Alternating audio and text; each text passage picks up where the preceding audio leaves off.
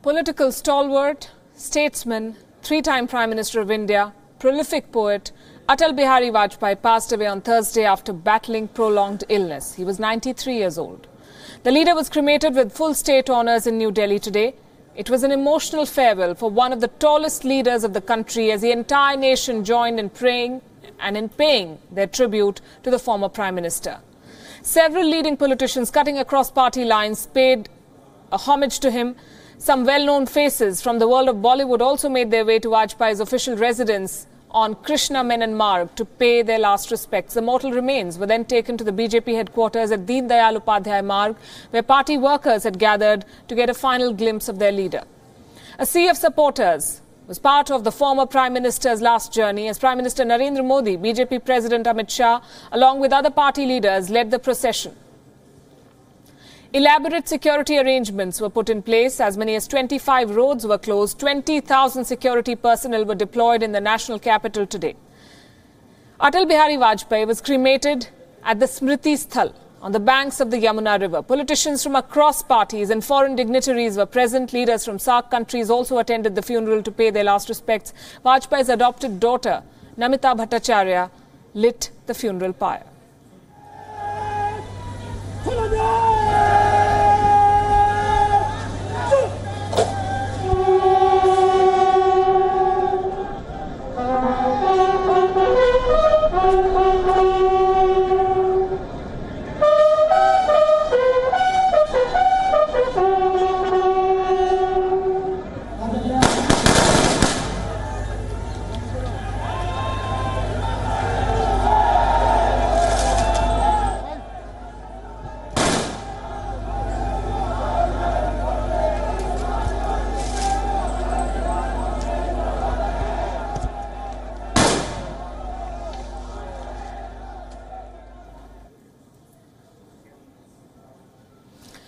Grief of Atal Bihari Vajpayee's death was felt across cultures and borders. Leaders from SAARC nations flew into India this morning to pay their last respects to the former Indian Prime Minister.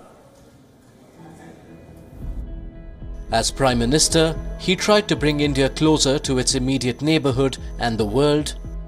And on the day of his final journey, the world came together to bid the beloved statesman a tearful adieu. King of Bhutan, Jigme Khesar Namgyel Wangchuk was the first world leader to fly into New Delhi on Friday morning. After paying homage to Vajpayee at the BJP headquarters, Wangchuk paid last respects to the former Prime Minister at New Delhi's Smriti Sthal. Joining the King of Bhutan was the former Afghan President Hamid Karzai. Foreign Minister of Bangladesh Abul Hassan Mahmood Ali also paid respects to the leader. Among other SAARC countries, the foreign ministers of Nepal and Sri Lanka, Pradeep Kumar Gyawali and Lakshman Kiriella were present. Pakistan, which recalled Vajpayee's statesmanship, sent in a delegation led by the country's acting law and information minister, Barrister Ali Zafar. Also joining India in its grief was Mauritius, which in an unprecedented move decided to fly its national flag at half-mast along with the tricolour. The British High Commission in Delhi flew its national flag, the Union Jack, at half-mast in honour of Vajpayee. Condolence messages poured in from around the world, including Russia and the United States. In his message, Russian President Vladimir Putin called Vajpayee an outstanding statesman.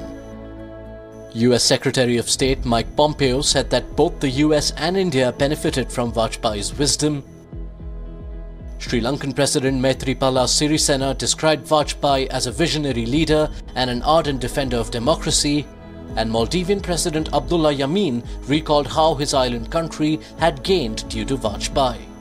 It was a day when neighbors stood together to share the grief. It was a moment which only a leader of Vajpayee's stature could weave together. Bureau Report, WION.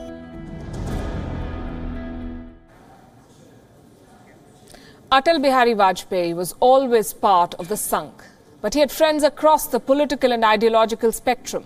He led a coalition of 13 parties for five years. He was respected by political friends and foes alike, and even in death, he brought together all the warring sides of Indian politics. हमारे साथ हमारे खिलाफ जमघट करके और हमें हटाने का प्रयास कर रहे हैं उन्हें प्रयास करने का पूरा अधिकार है A parliamentarian par excellence, an able administrator, a leader who commanded respect across the political spectrum. Atal Bihari Vajpayee was a man who carried 24 parties along in the coalition government he led in India. From the Janasangh to the BJP, Vajpayee remained a steadfast practitioner of the right of centre politics that gave a counterpoint to the Congress. But in death, as in life, he united the entire political fraternity. In his final journey, he carried a microcosm of the nation and its varied political opinion with him. It was not just the Bharatiya Janata Party which he led that was in mourning. Rahul Gandhi and former Prime Minister Manmohan Singh of the Congress sat next to the top BJP leadership at the memorial site.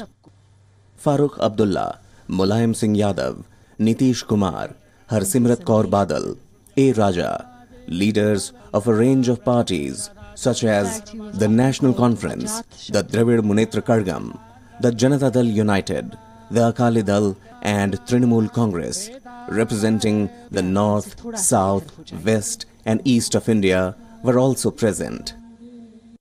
Speaking to WION, Congress leader Salman Khurshid explained why Vajpayee carried such an appeal across the political spectrum. For me, he really represents, in a sense, in a sense, the final dawn, the final dusk or the closing of the Nehruvian era. He was the, the ideal opposition leader uh, to the ideal prime ministership. Back in 2001, Pakistan-backed terrorist organization attacked the Indian parliament.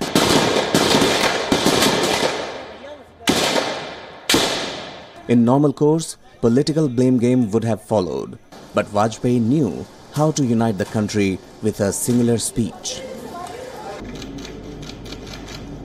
On Thursday, Sonia Gandhi paid glowing tributes to Vajpayee. Recalling his contribution to the public life, Sonia Gandhi described Vajpayee as a towering figure, a spellbinding orator, a visionary leader, and a patriot to the core. Vajpayee was a man with a very large heart and a real spirit of magnanimity, a man who always treated everyone with respect and courtesy, she said. It's been more than 10 years since Vajpayee had been seen in public life. A poet, a politician, a much respected statesman. He treated all of India as his family. He treated all of India as his family. When he passed away, all were united in grief. Bureau Report, WION. For the moment, we're heading to Kerala. It's witnessing its worst floods in a century. Look at these images.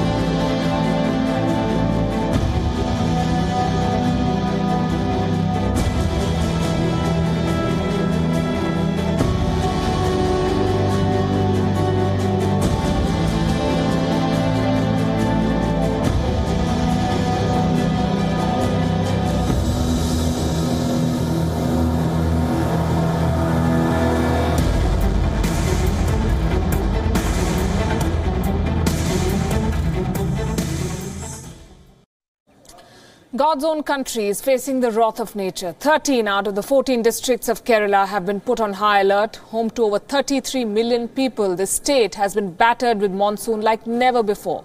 Both the centre and the state government are now working to contain the damage. The National Agency for Crisis Management met for a second time in two days in New Delhi to review rescue and relief operations.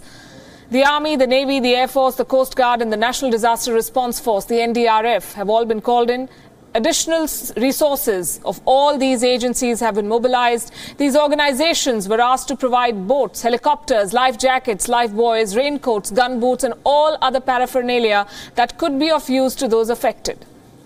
The central government has deployed 339 motorboats to reach people marooned in far flung areas in flood affected areas, which is pretty much the entire state.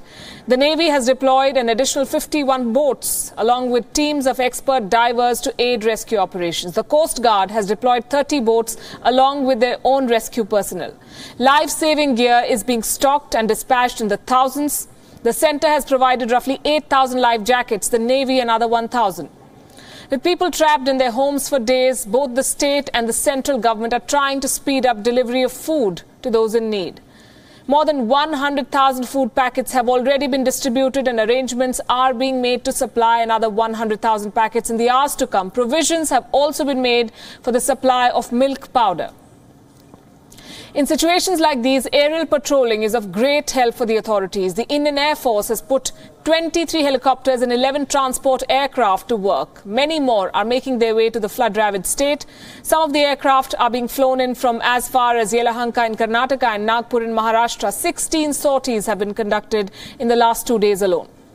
Other than monitoring, rescuing, and relaying information, these aircraft are also dispatching food supplies. More than 1,600 food packets were airdropped in the last few hours. The Indian Navy offered the Kochi naval airstrip to be used by civilian airlines as the Kochi airport remains shut. The runway and the airport premises are flooded, as you can see. The Indian Army has pressed 10 columns into service and 10 engineering task forces to deal with large structures that could be under the threat of collapse. Most of the dams in the state are flowing above capacity. The gates of the Idukki Dam, remember, were opened for the first time in more than two and a half decades. The Indian Railways has also pitched in more than 120,000 water bottles have been arranged for those affected. Another consignment of the same size is ready to be dispatched. A special train carrying 2.9 lakh litres of drinking water will reach Kayamkulam town in Alleppey district, hopefully in a few hours. After a phone call between the Indian Prime Minister and the Chief Minister of Kerala, the army was asked to move to the flood ravaged state. Army units from Pune and Bhopal were rushed to Kerala yesterday, and within a day, they managed to rescue more than 100 people. The Indian Army has had a record of saving lives in such situations and natural calamities. Our next report sums up their brave efforts in Kerala.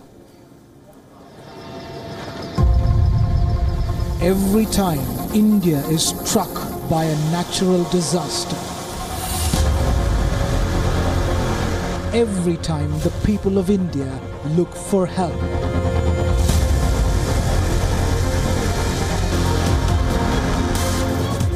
it is India's armed forces that rise to the occasion. And so it is in the southern Indian state of Kerala. The army, the navy, and the air force have come together to help.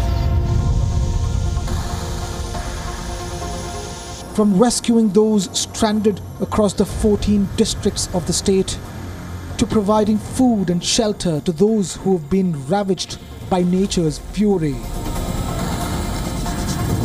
India's armed forces have carried out some incredible operations to save lives just in the nick of time. Like this woman who was about to deliver a baby. She was blessed with a baby boy within minutes of being airlifted. The armed forces were the first to arrive on the scene of calamity, a calamity that is growing worse by the day.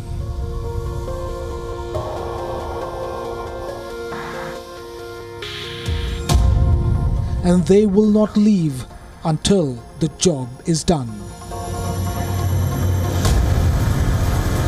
Just like they do on India's borders, India's soldiers are putting their own lives in peril to save those of the people of Kerala. Just the way they saved the lives of the people of Jammu and Kashmir in the 2015 floods and the people of Chennai in 2016 and innumerable other occasions. They are the ones the nation turns to in times of adversity. Here's saluting the saviors in God's own country. Bureau Report, WION. Well, the immediate focus in Kerala is on the relief and rehabilitation efforts, and rightly so. The larger challenge will crop up once the flood waters recede. More than 200,000 people that are now in relief centers may not just have lost their homes, but also their means of earning.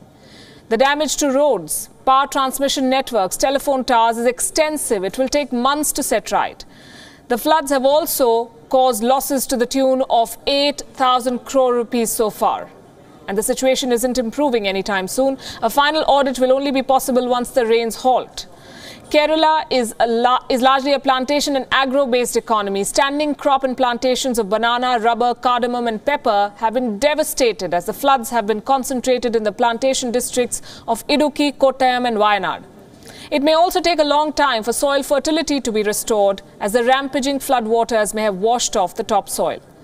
The state also depends on tourism for income. Sadly, the floods have come at a time when the tourist season was just about to start towards the end of September. With air, road, and rail networks thrown out of gear, the backwaters flooded, the hills becoming treacherous terrain, the tourism sector is expected to suffer major setbacks in Kerala. Since the day he decided to contest the election, US President Donald Trump has been fighting a dirty war with the media. He is now known for his ugly public spats with them. But more than 300 American media outlets have now decided to fight back. They've launched a campaign to counter President Trump's attacks. Take a look. More than 300 media organizations in America have launched their own war against Trump. They may be spread out all over America, but on Thursday, they chose to speak in one voice. Hit back at US President Donald Trump for his relentless attacks on the news media. The campaign, led by American daily Boston Globe, is an attempt to denounce Trump's war against the media. Does everybody like the press? They can make anything bad because they are the fake, fake, disgusting news. It wasn't until I became a politician that I realized how nasty, how mean, how uh, vicious, and how fake the press can be. The fake media, they make up stories. They have no sources in many cases. They say a source says there is no such thing. The Boston Globe said in its editorial Today, in the United States, we have a president who has created a mantra that members of the media who do not blatantly support the policies of the current US administration are the enemy of the people. The New York Times said, News reporters and editors are human and make mistakes. Correcting them is core to our job. But insisting that truths you don't like are fake news is dangerous to the lifeblood of democracy. And calling journalists the enemy of the people is dangerous. Period. Fake. They have to leave that word. Fake media. Fake news. Leave fake news. Just fake. It's fake. Trump has attacked the media repeatedly since his campaigning days. He fired three tweets to hit back at the media campaign, saying that fake media is the opposition party and the press has been pushing a political agenda. A poll conducted by Ipsos found that one out of eight Americans want Trump to shut down mainstream media organizations like CNN, The Washington Post, and The New York Times. Another poll conducted by the Quinnipiac University suggests that 51% of Republican voters believe that the media is indeed the enemy of the people. Bureau Report, WION.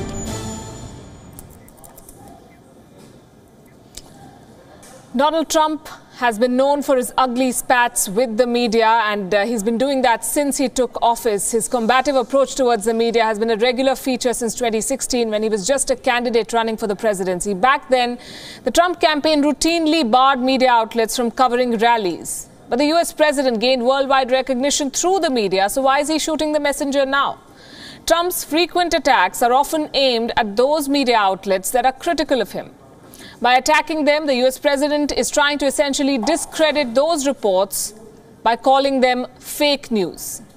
It's his favorite expression.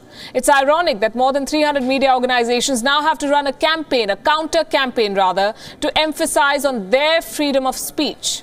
The US Constitution lists the freedom of the press as a fundamental right. America's founding fathers considered the freedom of the press as, quote unquote, one of the great bulwarks of liberty. The war between Trump and the media is not going to help either. The organizations that are part of this campaign are not just concerned about their basic freedoms, they're also worried that the verbal attacks by the US president could put the lives of journalists in America at risk.